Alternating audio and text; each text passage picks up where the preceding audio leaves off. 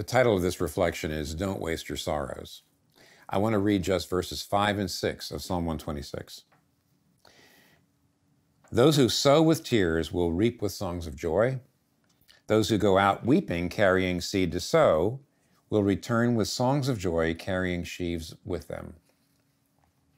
Now, this is a, this is a remarkable metaphor in which your sorrows, your tears, are like seed, which, when sown properly, can bring you a harvest of joy. Uh, the implications of the metaphor are at least these two. First of all, the first implication is that it's possible to waste your sorrows.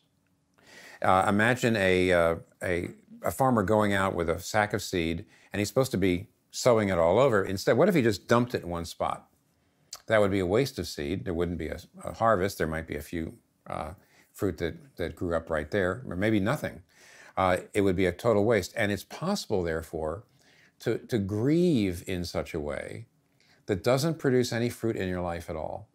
In other words, it's possible to just dump, especially when you're grieving. That's actually a, a, very good metaphor. It's possible just to just just weep, just cry, just just yell and scream, and uh, and basically not see any real fruit in your life from it. So it's possible to waste your sorrows.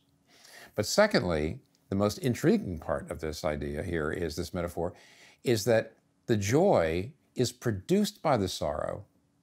You see, we all hope and believe that uh, that joy will follow sorrow, and there are there are passages of the Bible where it says uh, Psalm 30 verse 5, "Weeping may tarry for the night, but joy comes in the morning." And most of us think, yes, we're very sad, but we're hoping God brings joy in after our sadness time is over. But this is going beyond that. It's not just saying that joy follows sorrow, it's saying that joy is actually produced by the sorrow. And what can that possibly mean? What it can mean is that sowing seed, the, the, the sadness and the grief actually makes you, can make you a happier person in the long run. Uh, and if, if you sorrow in the proper way. Now, how could that possibly be? And the answer is I mean, I, I don't know what the psalmist knew, but what we know because we're Christians is this. If you look to Jesus, this can come true. First of all, Jesus is the ultimate example of someone who brought joy out of sorrow. Jesus Christ literally brought joy, brought us joy out of his weeping. His agony and his weeping was substitutionary. He stood in our place. And therefore, when he took our punishment, his weeping was the ultimate sowing in tears, and it brought the ultimate harvest of joy.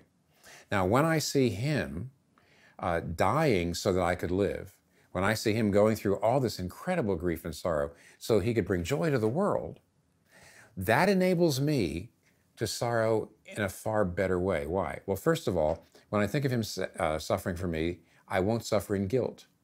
I won't sit there and say, well, maybe I'm suffering because God is punishing me. No, Jesus took my punishment. Secondly, I won't, when I'm suffering, I won't uh, suffer in self pity and anger. I won't say, How dare God let this happen to me? I say, Wait a minute, God suffered more than I did so that I can someday live with Him forever. And that gets over your self pity and your anger. And then, of course, thirdly, when I see Him suffering for me, I can suffer in patience. Because I say, Look, His disciples did not understand what was going on when He went to the cross. He said, What could, what could God ever bring good out of this?